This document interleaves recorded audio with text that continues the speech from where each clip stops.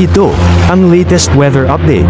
Alamin ang pinakasariwang ulat panahon ngayon dito sa Information TV Educational Channel 2. monsoon o habagat sa may kanlurang bahagi ng Southern Luzon, Visayas at Mindanao.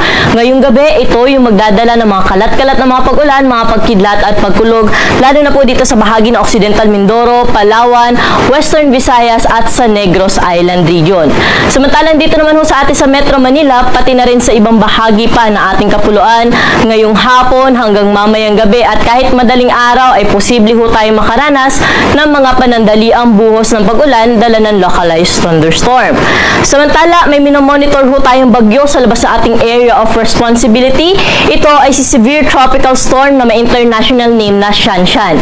Kung makikita natin dito sa ating satellite imagery, ay malayo ho ito sa ating Philippine landmass kaya wala itong direct na epekto sa anumang bahagi ng ating bansa.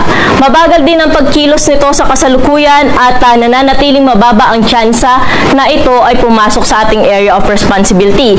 Ngunit kung pumasok man po ito sa ating PAR ay ah, dito lamang ho ito sa may northeastern boundary na ating area of responsibility kaya hindi natin inaasahan na magkakaroon nito ng direct na epekto sa anumang bahagi ng ating bansa.